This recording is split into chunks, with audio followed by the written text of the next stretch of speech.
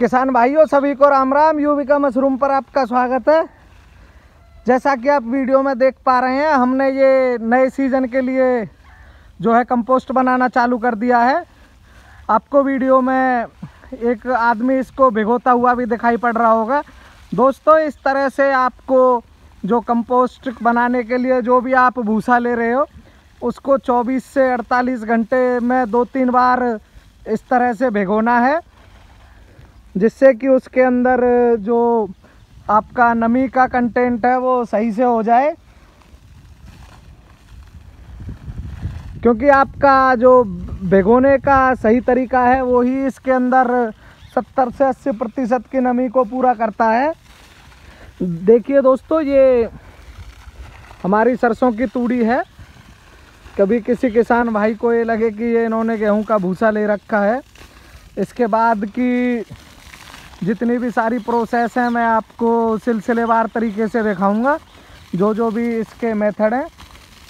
और बहुत से लोगों का जो है, हमेशा डाउट रहता है कि सरसों की तूड़ी में कैसा माल निकलता है।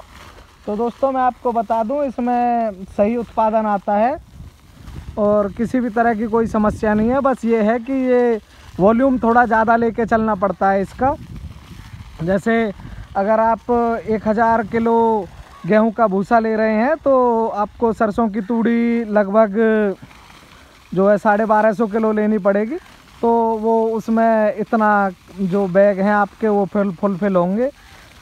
दोस्तों, आपको यहाँ से जो आगे का जो भी काम है, वो मैं किसी नेक्स्ट वीडियो में दिखाऊँगा। मुझे उम्मीद है आप यहाँ तक दी गई जानकारी समझ पाए होंगे। भाइयों इसको 48 घंटे भिगोने के बाद हम इसमें सारा जो मटेरियल है वो ऐड करेंगे। जैसे कि आपको सामने एमओपी का बैग दिख रहा है। दोस्तों, ये एमओपी जो है हमारी दो ही रंग में आती है। आपको एक तो ये हमारा जो है लाल रंग है, दूसरा सफ़ेद है। आईपीएल कंपनी की जो है दोस्तों, वो सफ़ेद रंग में आती है। तो आपको एमओपी ही यूज़ करना है। देखिए दोस्तों, ये यूरिया है। और एमओपी की जगह आजकल मार्केट में और भी जैविक पोटास के नाम से बहुत कुछ चल रहा है तो आपको उनका यूज़ नहीं करना है। ये दोस्तों, हमने इसके ऊपर जगह जगह चोकर के और यूरिया के बैग खोले हुए हैं। इनको अच्छी तरह से खोल करके इन सब के ऊपर डाल देना है और आप किसी मिक्सचर की सहायता से इन्हें मिक्स कर सकते हैं। अदरवाइज़ आप मैनुअली भी लेबर की सहायता से जेली जो आती है हाथ की, उसके थ्रू इसको मिक्स कर सकते हैं। और मिक्स जब अच्छी तरह से हो जाए तो उससे पहले आपको तूड़ी में ये भी देख लेना है कि हर जगह ये पहुँचा है या नहीं। साथ में मॉइस्चर कंटेंट भी चेक कर लेना है कि मॉइस्चर कितना है। तभी इन्हें मिक्स करें। मिक्स करने से पहले ये सारी चीज़ों का आपको ध्यान रखना अति आवश्यक है। और दोस्तों, ये भी आपको ध्यान रखना है कि इसमें से जो भी आपका रॉ मटेरियल है, एक तिहाई जो भी फर्टिलाइज़र हैं, वो छोड़ देने हैं, जिससे कि नेक्स्ट पलटाई पे आपके वो काम आ सकें। और दूसरा दोस्तों, जो चोकर है, वो चोकर आप साफ़ शुद्ध यूज़ करें।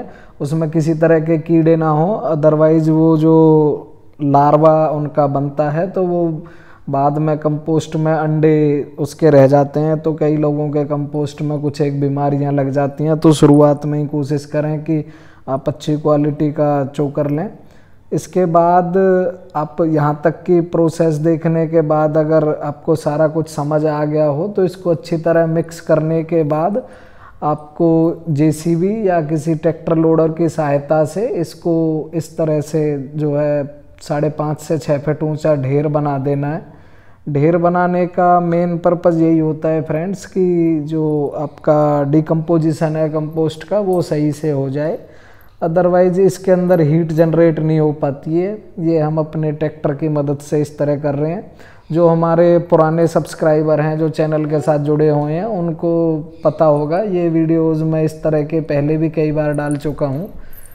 ये इस तरह से आपको पूरा ढेर बनाने के बाद आपको कम से कम छः फिट हाइट उसकी रखनी है। तो आप इसमें देख भी पा रहे होंगे कि हमने जो है ढेर की हाइट काफ़ी कर दी है। इसके बाद आपको इसको छः से सात दिन के लिए छोड़ देना है एज इट इज़ और उसमें बीच बीच में आपको पानी का स्प्रे करते रहना है, जिससे कि नमी जो है इसकी कम ना हो। दोस्तों, मुझे उम्मीद है आप यहाँ तक दी गई जानकारी समझ पाए होंगे।